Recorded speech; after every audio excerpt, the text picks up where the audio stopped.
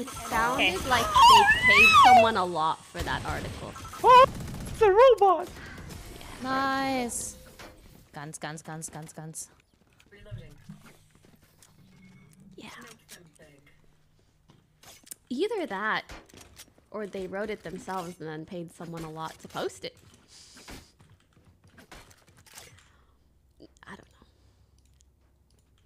Okay, maybe this is like unprofessional of me to say.